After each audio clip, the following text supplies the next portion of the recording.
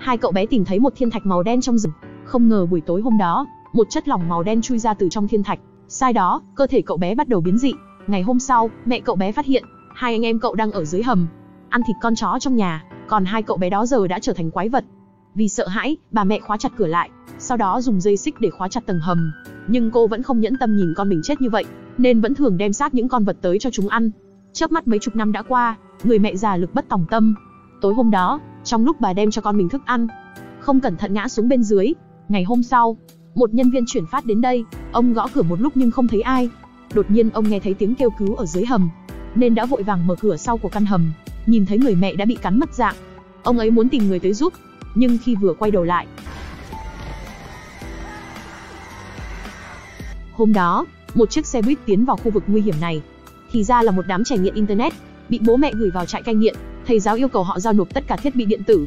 Bởi vì người rất đông, nên sẽ được phân thành nhiều nhóm nhỏ và sẽ phải hoàn thành những nhiệm vụ khác nhau. Rất nhanh các nhóm đã được phân xong. Người dẫn đường của họ là một hướng dẫn viên có rất nhiều kinh nghiệm về dã ngoại, còn nhiệm vụ của họ là vào rừng cắm trại trong 3 ngày.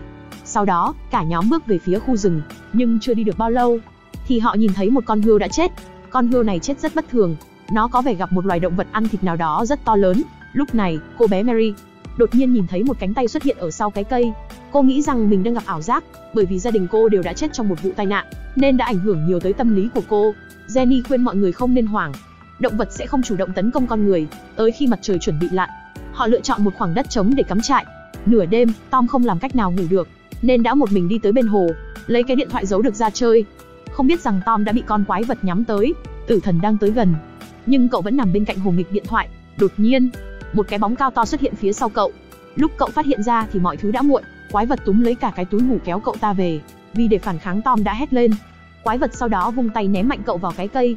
Sáng hôm sau, Jenny nhận ra Tom đã mất tích, cho nên cùng cả nhóm bắt đầu đi tìm. Mary nhìn thấy những vết máu ở trên gốc cây.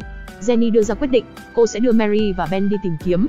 David và Amy thì ở lại trông coi doanh trại. Sau đó, ba người nhanh chóng tìm được một căn nhà cũ nát, sau khi gõ cửa không ai trả lời, họ mở cửa đi vào trong nhà. Trong căn phòng khắp nơi là một bầu không khí u ám. Lúc này, họ nghe thấy âm thanh kỳ quái bên dưới sàn gỗ. Sau đó họ mở cánh cửa hầm ra, một mùi hôi thối nồng nặc bốc lên. Ở bên dưới, họ nhìn thấy cái xác của Tom. Khi mà họ chuẩn bị bỏ chạy, con quái vật đột nhiên quay trở về. Ba người sợ hãi lại đành phải xuống dưới hầm trốn.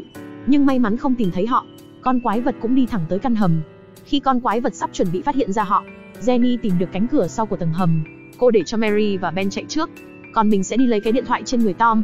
Kết quả là bị quái vật đuổi tới ăn thịt. Lúc này David và Amy đang ngồi bên bờ sông nói chuyện, họ chẳng hề biết nguy hiểm đang tìm đến.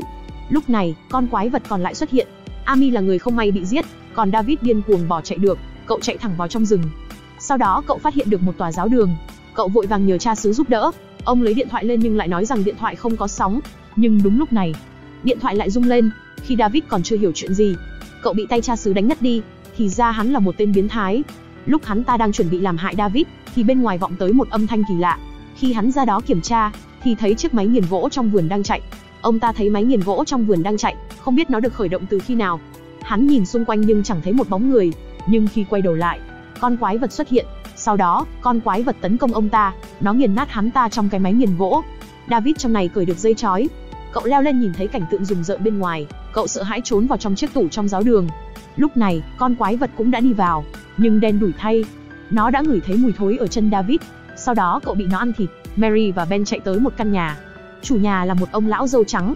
Họ muốn mượn điện thoại để báo cảnh sát, nhưng nhà ông lão chẳng hề có điện thoại. Sau khi nghe chuyện của hai đứa trẻ, ông lão khuyên chúng, trong khu rừng này từng có một gia đình ba người sinh sống, một bà mẹ đơn thân và hai đứa con nhỏ. Nhưng một thiên thạch rơi xuống khiến gia đình đó xảy ra biến cố, và ông ấy chính là nhân viên chuyển phát năm xưa. Từ chuyện lần ấy, ông mất đi hai cái chân của mình. Mary cho rằng không thể cứ ngồi im chờ chết, nên đã quyết định cùng Ben quay về căn hầm, lấy điện thoại của Tom báo cảnh sát. Ben lúc này đi thu hút sự chú ý của con quái vật, sau khi nó đi ra khỏi căn hầm. Mary nhân cơ hội chạy vào bên trong, nhưng lúc cô bé đang tìm điện thoại, thì con quái vật đột ngột quay lại. Mary cố gắng chạy đi, nhưng vẫn bị quái vật lôi quay lại. Trong lúc nó chuẩn bị giết chết cô bé, Ben kịp thời đi tới, nhưng cậu bé không phải là đối thủ của nó. Ben nhanh chóng bị đánh cho bầm dập. Không lâu sau thì cậu tắt thở. Mary vội vàng lấy điện thoại của Tom, nhưng phát hiện điện thoại đã hết pin. Cô dùng dao cắt bỏ sợi dây chói, khi chuẩn bị tháo chạy thì cô bé dừng lại. Cô quyết định ở lại báo thù cho mọi người. Sau đó Mary cẩn thận leo lên căn phòng, rồi nhặt con dao ở dưới đất lên, giết chết con quái vật đang nằm ngủ say. cô bé chạy thục mạng về phía trước, hy vọng tìm được sự giúp đỡ. Không lâu sau, cô bé tìm thấy một chiếc xe cảnh sát, cảnh sát lập tức lái xe chở Mary quay về. Nhưng trên đường về, chiếc xe dường như đã đâm phải cái gì đó. Lúc cảnh sát đi xuống kiểm tra, đột nhiên con quái vật lao tới tấn công, chết ngay tại chỗ. Trong lúc quái vật đang định giết Mary, Mary khởi động chiếc xe đâm chết con quái vật. Cuối cùng, cô bé lái xe cảnh sát rời khỏi nơi quái gở này. Nhưng trong buổi tối hôm đó, hai con quái vật đã hồi sinh lại. Hành động giết người kinh tởm của bọn chúng vẫn chưa dừng lại.